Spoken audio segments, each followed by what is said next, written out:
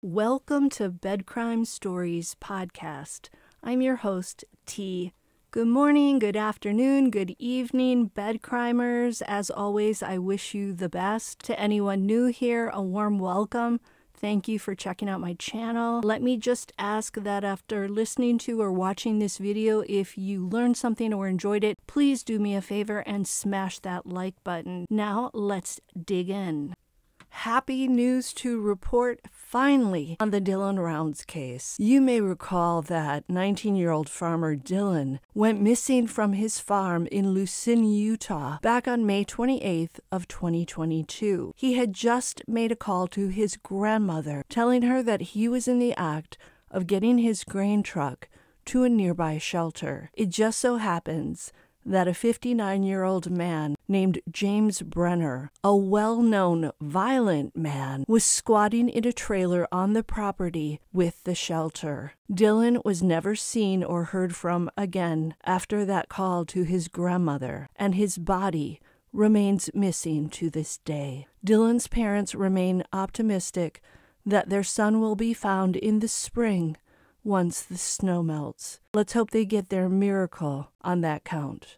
Last Friday, key suspect Brenner, who has been in the Box Elder County Jail on unrelated weapons violations since June of 2022, was finally charged with one count of aggravated red rum. Spell that from the back forward, and you'll know what I mean, and one count of abuse or desecration of a body. The charges were filed last Friday in the Box Elder County Attorney's Office. The second charge indicates that Brenner did something to Dylan's body to desecrate it and then moved it and concealed it somewhere. So far, Brenner has been mum and refused to speak. According to the newly released probable cause affidavit, the spot of blood that was found on Dylan's boots when they were located behind a dirt pile on the property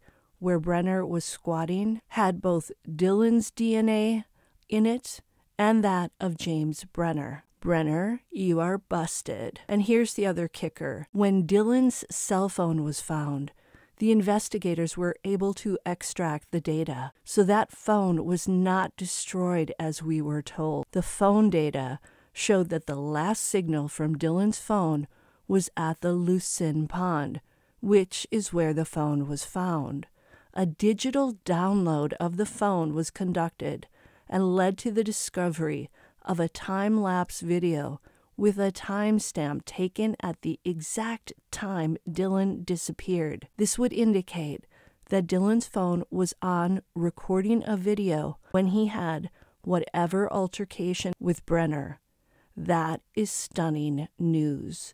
And then the video showed Brenner with blood stains on his arms and shirt cleaning a gun. James Brenner, you are doubly busted, you monster. Dylan appears to have solved his own case with his cell phone. Another video on a victim's phone catching the suspect at the crime scene at the time the crime occurred. By the way, blood on Brenner's shirt was also analyzed, and Dylan's blood was found on the shirt. I think we know we have our perpetrator. And guess what? It's also possible that the entire crime was captured on that video. Remember, probable cause affidavits do not include all the evidence investigators have, just enough to compel a judge to sign them. If you care to read the very short probable cause affidavit, I have put it in the community page. Until the next time